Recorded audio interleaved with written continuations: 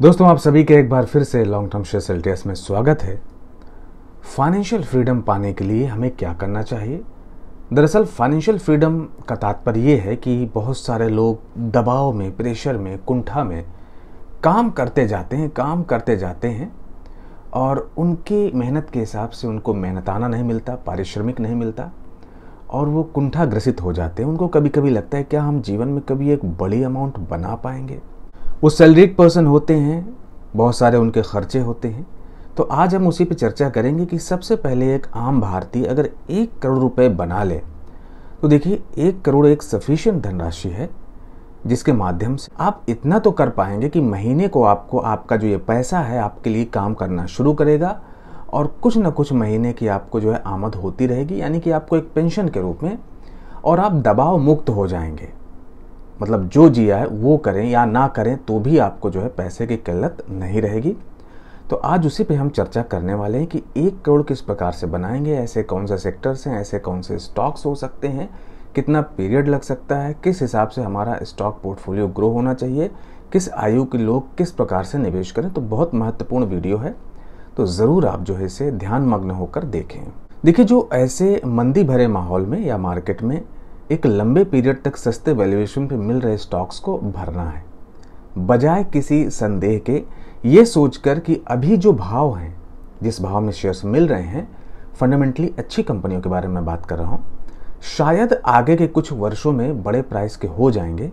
साथ ही जो एक सिस्टम के तहत प्रतिमाह आप निवेश करते हैं, यानी कि एसआईपी करते हैं, उनके लिए जितनी लंबी अवधि तक उनके चहेते शेयर्स निचले भाव पे मिल रहे होंगे उतना ही अच्छा है। निवेश के लिए आपको जो भी खर्चे पाने के बाद बचत कर पाए, उसे मैक्सिमम इन्वेस्ट करें। शेयर मार्केट इसलिए भी आकर्षक है क्योंकि यदि कोई विपत्ति भी आ जाती है, मान लीजिए लाइफ में आपकी कोई अचानक ऐसे कुछ सर्कमस्टांसेस हो जाते हैं जहाँ आपको पैसे की बहुत आवश्यकता पड़ती है तो मार्केट आवर में आप जो है अपने शेयर्स बेच सकते हैं। इमरजेंसी में जो भी आपके संचय की हुई धनराशि है शेयर्स हैं, उनको आप बेच करके लिक्विडेट करके जल्दी पैसा मिल जाता है। बजाय अगर आप प्रॉपर्टी में इन्वेस्टमेंट्स के हिसाब से अगर आपने निवेश किया हुआ है तो वहाँ पे आपको बायर ढूंढना पड़ेगा, फिर बहुत सारे तामझाम होते हैं, बहुत प्रक्रिया होती है, तब जाके आपको फाइनली पैसा मिलता है। या फिर कोई ऐसी जगह आपने निवेश कर दिया जहाँ पे लॉक इन पीरियड होते हैं, ऐसे बहुत सारे इंस्ट्रूमेंट्स हैं तो आपका रिटर्न भी ख़राब हो जाता है और पेनाल्टी भी लगती है, तब जाके आपको, आपका पैसा मिलता है। अब जैसे कि मान लीजिए कि बीस हज़ार रुपये प्रतिमाह आप बचत से जो है निवेश कर रहे हैं, आपका पैसा पच्चीस परसेंट सालाना के हिसाब से ग्रो हो रहा है। दस सालों तक यदि आपने किया तो आपको जो है एक करोड़ रुपए की धनराशि बन जाती है, यानी कि आपने निवेश किया चौबीस लाख। आपको जो गेन मिला यहाँ पे बयासी लाख, और टोटल इस तरीके से मिला के करीब एक करोड़ के आसपास हो जाते हैं। अब यहाँ पे मान लीजिए मंथली किसी का बजट कम है, कोई कम बचत कर पा रहा है, सारे खर्चे वगैरह निकाल के पंद्रह हज़ार महीने सेविंग कर पा रहा है, और वो निवेश कर रहा है तो यहाँ पे बीस परसेंट मान लीजिए कि जो है आपको रिटर्न प्राप्त हो रहा है, थोड़ा सा वर्ष बढ़ा दीजिए। यहाँ पे तेरह वर्ष कर देते हैं तो जाके आपको एक करोड़ से ज़्यादा की धनराशि यहाँ पे बन जाती है, यानी कि आपने जो निवेश किया, पंद्रह हज़ार पर मंथ के हिसाब से तेरह वर्षों तक वो अमाउंट हो जाती है तेईस लाख चालीस हज़ार अट्ठासी लाख के आसपास आपको गेन मिलता है। इस तरीके से एक करोड़ से ज़्यादा की अमाउंट बन जाती है। एक करोड़ ग्यारह लाख तैंतालीस हज़ार एक सौ उनतालीस रुपया, ठीक है? अब आपके समक्ष चुनौती है कि बीस हज़ार की सेविंग कैसे हो। तो आपको इस दस वर्षों में अधिक हार्डवर्क करना है। आप जिस भी फ़ील्ड में हैं, जो भी आपके स्किल है, मेहनत बढ़ा दीजिए। बस चुपचाप बिना किसी को बताए उस लक्ष्य को पाने में लगे रहिए, न कि बार बार अपना आप डीमेट अकाउंट खोल के अपने पोर्टफोलियो को चेक करें। कितनी वैल्यू की है, कितनी वैल्यू की नहीं है समय समय पर ज़रूर आप जो है रिव्यू करते रहें अपने पोर्टफोलियो के, कौन से स्टॉक या किस कंपनी में क्या चल रहा है। कुछ साल हार्डवर्क कर लीजिए, जीवन भर आराम कीजिए, कुछ साल आराम कीजिए और जीवन भर हार्डवर्क करना है। ये आप समझ लीजिए, ये लाइन आप लिख लीजिए। कैसे भी करके, आपको परिश्रम करके पैसे निवेश ही करने हैं अपनी बचत करके। मान लीजिए एसआईपी मोड पे आप कर रहे हैं, जो भी मंथली का बीस हज़ार, पंद्रह हज़ार तो उनको किस प्रकार के सेक्टर्स में आपको निवेश करना है? जैसे एफएमसीजी हो गया, ये एवरग्रीन सेक्टर है, हमेशा चलता रहेगा क्योंकि कंजप्शन है, इनके काफ़ी प्रोडक्ट से डिमांड रहती है, लोग खाते पीते हैं, जो भी एफएमसीजी के प्रोडक्ट्स होते हैं। आईटी सेक्टर चलता रहेगा क्योंकि आईटी ही पूरी इंडस्ट्रीज़ को आप देखें किसी भी उद्योग में तो वहाँ टेक्नोलॉजी का एक बहुत बड़ा स्थान हो गया है। बहुत सारे सॉफ्टवेयर इंजीनियर्स डेटा एनालिटिक्स इन सब चीज़ों से जो है इंडस्ट्री फल फूल रही हैं। तो ये सेक्टर भी भविष्य में चलने वाला है।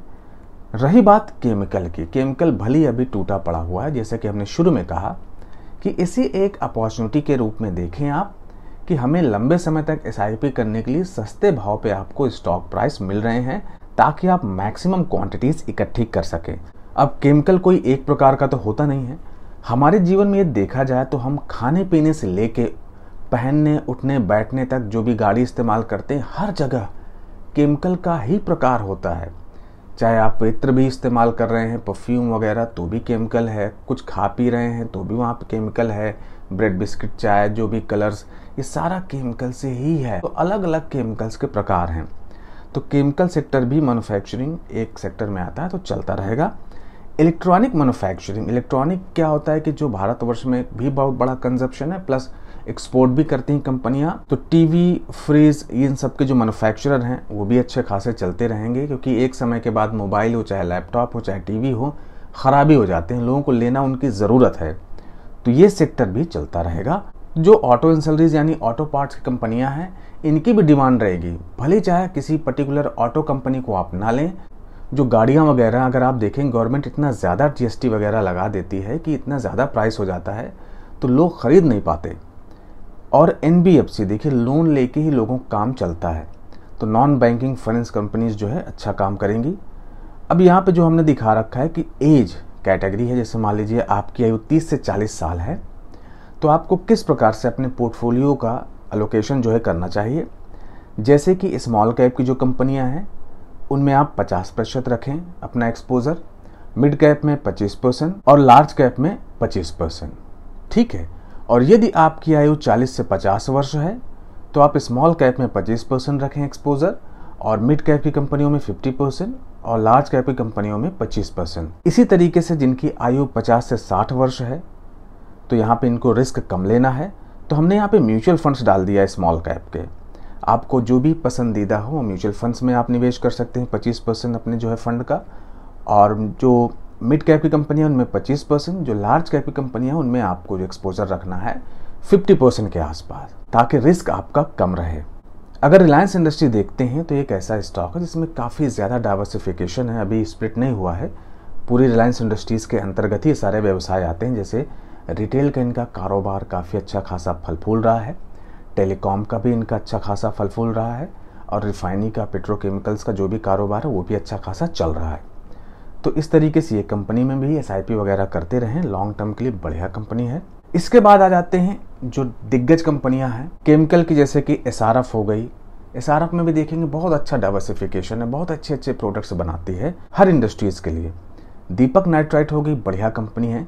तो अगर देखें लार्ज कैप की एसआरएफ है दीपक मिड रेंज में आ जाती है जुबलेंट एक स्मॉल कैप की आ जाती है।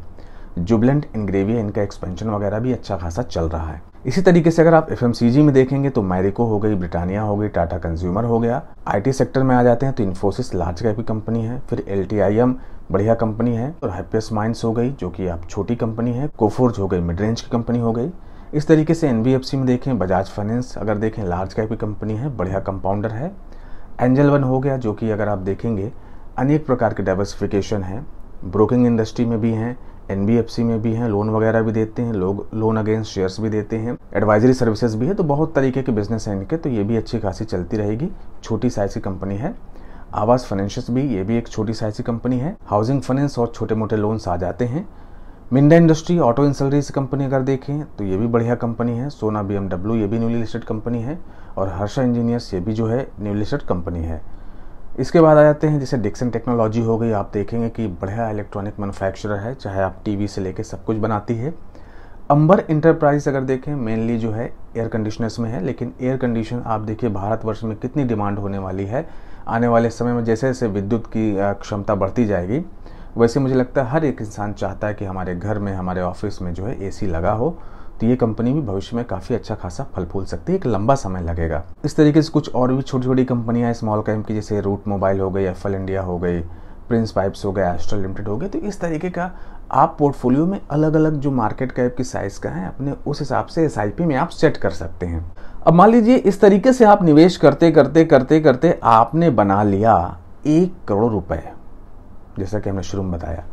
उन एक करोड़ को आपने जो है सिस्टमैटिक विड्रॉल प्लान में आपने निवेश कर दिया। किसी भी अच्छी ए में आपने जो है, आपने डाल दिया, एक करोड़ रुपए। अब आप पचास हज़ार प्रतिमाह जो है पे आउट भी ले रहे हैं कि भैया मुझे पचास हज़ार महीने जो है खर्चे पाने के लिए चाहिए, मैंने एक करोड़ रुपए आपको दे दिए हैं। पंद्रह परसेंट से मान लीजिए आपका पैसा ग्रो हो रहा है म्यूचुअल फंड इंडस्ट्री आपका पैसा बना रहे हैं तो पंद्रह वर्ष के लिए अगर मान लीजिए रखते हैं तो यहाँ पे आपको पाँच करोड़ से ज़्यादा की वैल्यू भी हो रही है। साथ में हर महीने आपको फिफ्टी थाउज़ेंड की जो है अमाउंट भी एक सैलरी या पेंशन के रूप में मिल रही है। इस तरीके से मान लीजिए कि एक करोड़ रुपए रखते हैं और पचास हज़ार पर मंथ लेते हैं। अब मान लीजिए बारह परसेंट जो है म्यूचुअल फंड आपको बना रहा आपका पैसा पंद्रह सालों के लिए तो भी आपका पैसा जो है कैपिटल गेन आपको जो है तीन लाख, तीन करोड़ से ज़्यादा का मिल रहा है और सैलरी भी आपको एक तरीके से पेंशन कह सकते हैं, पचास हज़ार मिल रहा है। ध्यान दीजिए कि जब एस डब्ल्यू पी करें तो उस समय आप जो कैपिटल गेन मिल रहा है कैपिटल अप्रिसिएशन हो रहा है उसी से पे आउट लें। ना कि जो है आप यूनिट बेच बेच के जो वो कंपनी दे फिक्स्ड वाला ऐसा मत रखें। तो इस तरीके से आप फ्लेक्सिबिलिटी ज़रूर रखें। साथ ही ये तो रहा एस डब्ल्यू पी इस तरीके की बहुत सारे और भी चीज़ें हैं। अगर आप फिक्स डिपॉजिट पे भी लगा देंगे पैसा तो भी आपको जो है, मान लीजिए आज छः सात परसेंट के हिसाब से फिक्स एफ़ का रेट चल रहा है तो महीने का पचास हज़ार तो उसी हिसाब से डिवाइड होकर आएगा आपके पास। हाँ ये है कि आपको पैसा अप्रिशिएट नहीं होगा। इस तरीके से अगर आपके पास एक करोड़ हो जाते हैं तो आप किसी प्रॉपर्टी में भी निवेश कर सकते हैं, जो कि कमर्शियल प्रॉपर्टी हो। ऐसी प्रॉपर्टी कोई दुकान हो, कोई शॉप हो, जहाँ से आपको तुरंत जो है पैसे की आमद शुरू हो जाए, हर महीने एक रेंटल के रूप में प्राप्त होता रहे। इस तरीके से आप कहीं भी कुछ ऐसा, आप सोचिए बिज़नेस करने वाले के दिमाग में तो बहुत सारी चीज़ें आ सकती हैं। अब जिसके पास पैसा नहीं, उसको बहुत सारे बिज़नेस आइडियाज़ आते हैं, और जिसके पास पैसा, उसके पास बिज़नेस आइडियाज़ नहीं होते ये भी एक अनमैस्ड चीज़ें हैं, लेकिन इस तरीके से आप अपने फोकस को ना टूटने दें। जब भी आपके पास पैसे आवें आपके दिमाग में जो भी बिज़नेस फल फूल रहा हो, जो भी अभी आप कर रहे हैं, उसको छोड़ के आप अपने हिसाब से स्वतंत्र होकर कुछ भी कर सकते हैं। इस तरीके की बहुत सारी चीज़ें चलने वाली हैं भविष्य में आने वाले समय में। वो तो छोड़िए, अगर मान लीजिए कोई आप एक अजूबा भी बना देते हैं किसी जगह पे और कोई ज़मीन लेके कोई अजूबी, कोई अजूबा आप खड़ा कर देते हैं और उसमें टिकट भी लगा देते हैं तो भी अगर डेली के हज़ार पब्लिक आ रही है और आपने पचास रुपये टिकट लगा दिए तो भी पचास हज़ार डेली की इनकम हो रही है। तो बिज़नेस करने के लिए कुछ भी आइडियाज़ हो सकते हैं, यानी कि पैसे को आप ऐसी जगह लगावें ताकि आपको वहाँ से एक पैसिव इनकम के रूप में मिलती रहे और आपकी लाइफ सेट हो जाए। फिर उस पैसे से आप पैसे बनाते रहें। तो पैसे से पैसे बनाने के लिए आपके पास पैसे होने चाहिए, एक बड़ी धनराशि और उस बड़ी धनराशि को बनाने के लिए आपको एक पीरियड तक मेहनत करना पड़ेगा, जो भी आज आपकी उम्र है। बस यही कहना चाहूँगा दोस्तों, आशा है कि आप बखूबी समझ गए हैं, जो भी मैं कहना चाहता था। ऐसा एग्जैक्ट हो, ये तो मैं नहीं कह रहा, क्योंकि आपको अपने हिसाब से रिसर्च मेहनत करनी पड़ेगी, जो भी स्टॉक्स हैं, जो भी सेक्टर्स हैं। मैंने सिर्फ़ एक रास्ता बताया कि देखिए, इस रास्ते से आप चलेंगे तो हो सकता है कि थोड़ा कठिन ज़रूर लगे कि दस वर्ष कहाँ बोल रहे हैं। सर, कोई ऐसा चमत्कार हो जाए कि हमें रास्ते में चलते हुए कोई एक बोरा नोट मिल जाए। तो भैया, वैसा तो कुछ भी किसी के साथ हो सकता है। वो तो खैर आजकल तो वैसे भी नोटबंदी हो गई है। इतना पैसा कोई लेके चलता नहीं।